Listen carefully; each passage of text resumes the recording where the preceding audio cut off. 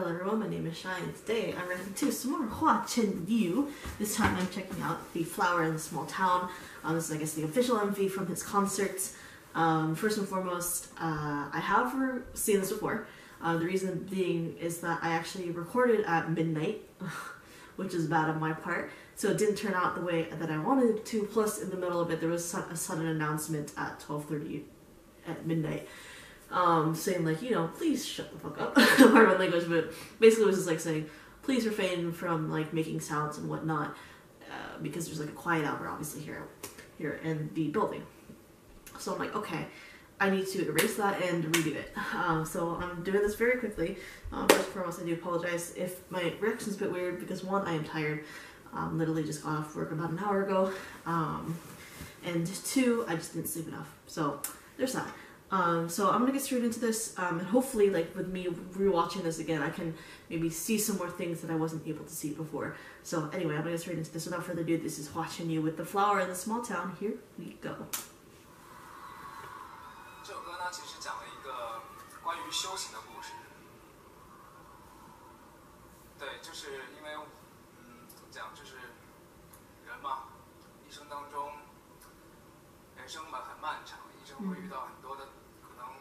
life is very long. You encounter many things, pain, spiritually or physically.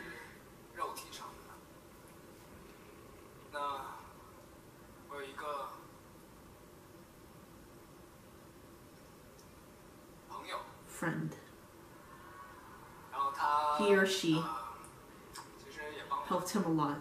But at this point, after this point, he uses the subtitler uses the word she. Seeing how painful she was.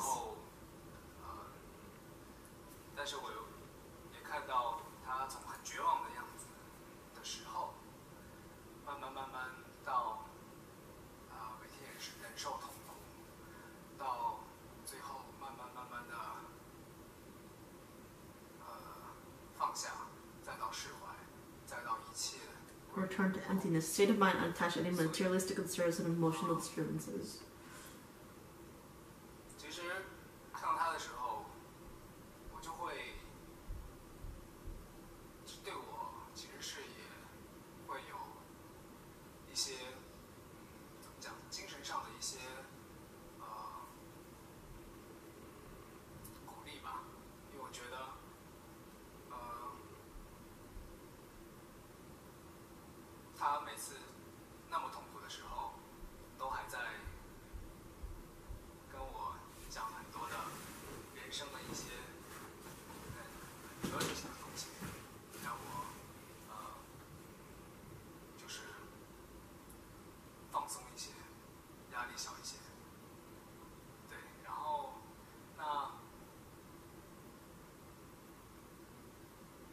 He's talking about this person with like great sadness, so I wonder if something happened to that friend.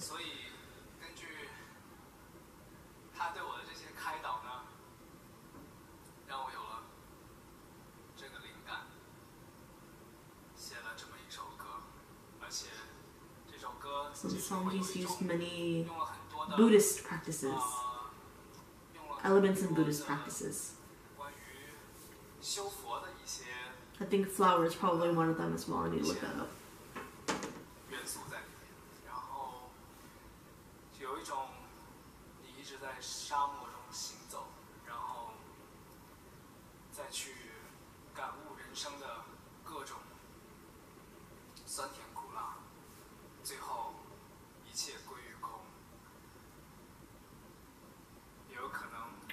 The flower in the small town is the mirage explained by watching the Weibo.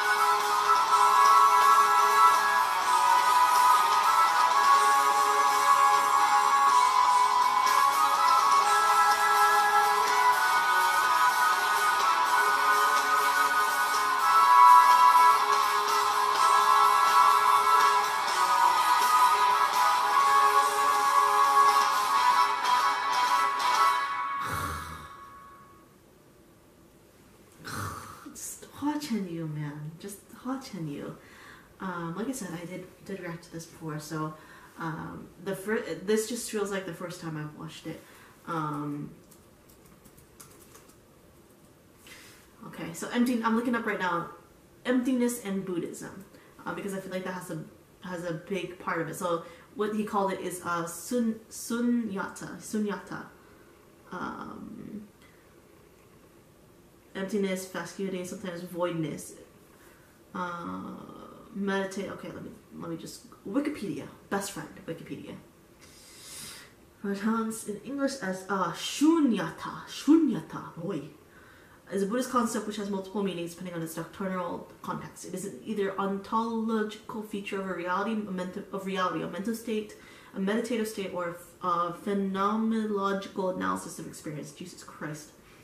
Um, Sun- Sunnata refers to the non-self nature of the five attributes of experience and the six senses experience. Sunnata is often referred to a meditative state of experience. All things that are empty of interesting existence and nature. But also refer to a Buddha nature teachings and primordial or empty awareness. Um, the voidness, emptiness, hollow, hollowness, voidness. So nothing, zero.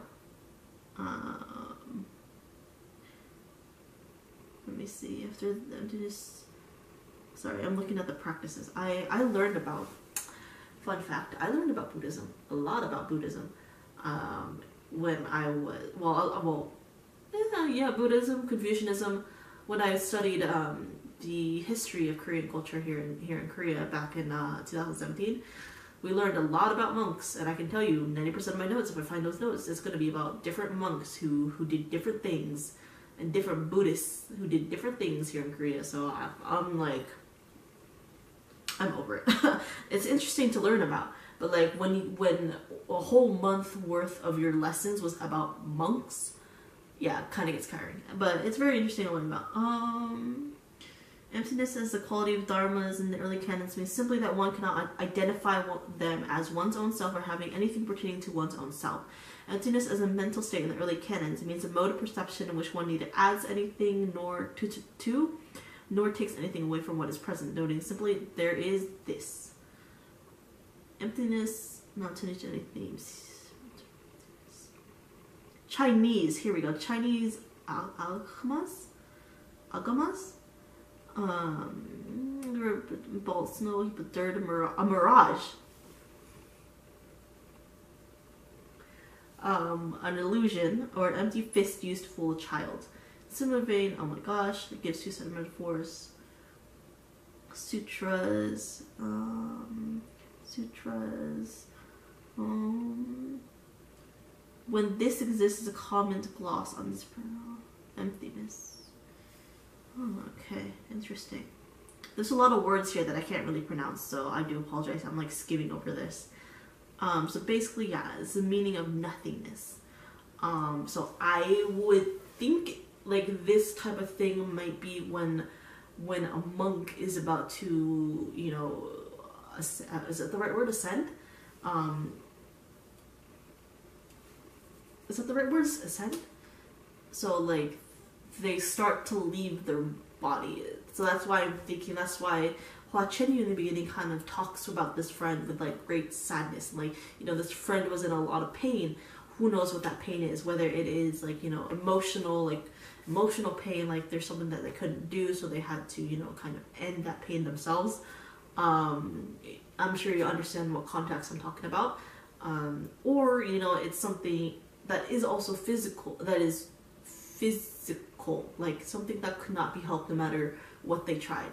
Um, so that's why I feel like he was talking. So I like you know y'all know me. Like I am an international fan of Hua Chenyu.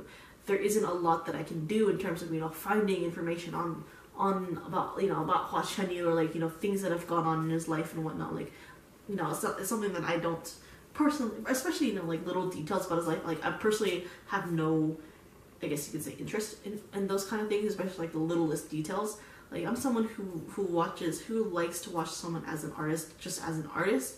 Obviously, if like you know the personal lives come into play, then of course I look at that, but then I don't pay any attention if it's just a one time thing, if you know what I mean. Um, so So yeah, Chinese Buddhism. Emptiness was first understood as a point ah transcendental transcend transcendental Jesus Christ a reality similar to Tao. Ah, interesting. One who is mm, okay. Just, but I have I don't know. This is like you know, with Buddhism, I would want to say you can interpret it in you can interpret it in many different ways, and it also the interpretation of how you see Buddhism and everything of the elements of Buddhism it is entirely also of your experiences as well.